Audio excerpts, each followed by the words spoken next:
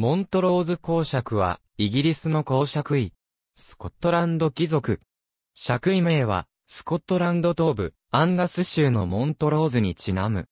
最初は、第5代、クロフォード伯爵デイビッド・リンジーに対して1488年に与えられたが、同年剥奪された。後に返還されたものの一代限りとされたため、この爵位は相続されなかった。次は1707年に第4代、モントローズ公爵、ジェームズ・グラハムに対して与えられ、以後現在まで、グラハム家が保持している。2014年現在のモントローズ公爵は、第8代公爵となるジェームズ・グラハムである。1999年貴族院法によって、世襲貴族が自動的に貴族院に議席を持つことはなくなったが、彼は議員に選出されたためこの貴族院改革後も議席を持っている。モントローズ公爵の紋章1488年、第5代、クロフォード伯爵デイビッド・リンジーは、スコットランド王家と、縁戚関係にない人物として、最初の公爵くらいとなるモントローズ公爵を与えられた。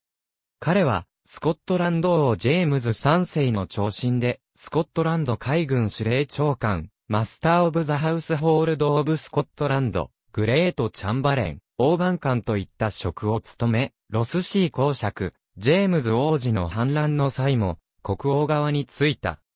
ソーキーバーンの戦いで、ジェームズ3世が敗死して、ロスシー公爵がジェームズ4世として即位すると、モントローズ公爵位は一時剥奪されたが、翌1489年、一代限りの爵位として、モントローズ公爵位は再び、デイビッド・リンジーのものとなった。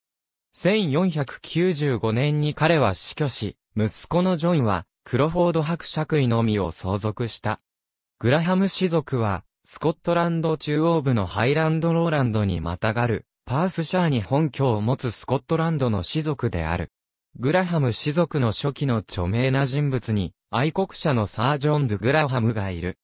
彼は、サー・ウィリアム・ウォレスの友人にして右腕であったが、1298年のフォルカークの戦いで戦死した。その後一族の所領や影響力は増大し、1415年にパトリック・グラハムはグラハム教に除された。1488年の早期バーンの戦いにおいて、グラハム氏族は国王ジェームズ3世側について戦った。第3代、グラハム教、ウィリアム・グラハムは、1505年にジェームズ4世によって、モントローズ伯爵に除された。彼が1513年9月9日のフロドゥンの戦いで戦死すると、長男のウィリアムが終爵した。二大伯の成人した最年長の息子であるロバートは1547年9月10日のピンキーの戦いで戦死したため、その息子のジョンが三大伯となった。四大伯となったジョンは、三大伯の長男である。続いてその長男のジェームズが五大伯となった。初代モントローズ公爵、ジェームズ・グラハム五大伯は、国民名役の結成を主導し1639年と1640年の主教戦争で、イングランド王兼スコットランド王チャールズ一世と戦い、続く、新教徒革命の最中に勃発したスコットランド内戦では、名役派から応答派に、蔵替え、チャールズ一世に代わって、応答派を率いて、名役派と戦った。1645年にインバロヒーの戦いと、キルシスの戦いで、名役派に勝利したが、フィリップ・ホフの戦いで敗れて大陸へ、亡命。1649年に、チャールズ一世が、イングランド議会派に処刑されると、チャールズ2世に仕えて1650年に再起を図り帰国したがカービスデールの戦いで敗れて捕獲、処刑された。五大伯は1644年にモントローズ公爵に除されており、一人息子のジェームズが終爵、二代公となった。二代公が死去するとその息子のジェームズが三代公に、続いて三代公の一人息子のジェームズが四代公となった。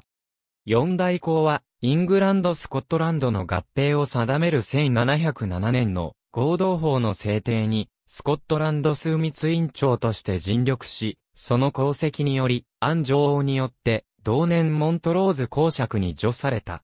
彼が1742年に死去すると、一人息子のウィリアムが二代公となった。三代公となったジェームズは、二代公の長男である。彼ははじめ庶民院議員となり、修釈によって貴族院に移った。ウィリアム・ピット内閣で商務院総裁となったほか、主目頭や王室侍従長といった職も務めた。また1782年には1747年のハイランドドレス着用禁止法を廃止させた。三代公が死去すると、その長男のジェームズが皇位を相続した。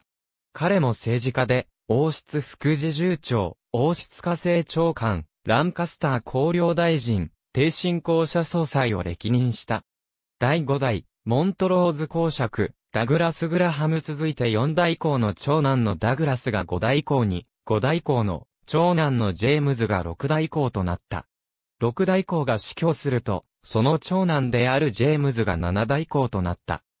彼は、イギリスの植民地であった南部アフリカで、生涯の大半を過ごし、1965年の北、ローデシアのローデシアニアサランド連邦からの独立宣言には、イアン・スミス内閣の農業大臣として署名し、後には国防大臣を務めた。現在のモントローズ公爵は、1992年に終爵した8代公ジェームズである。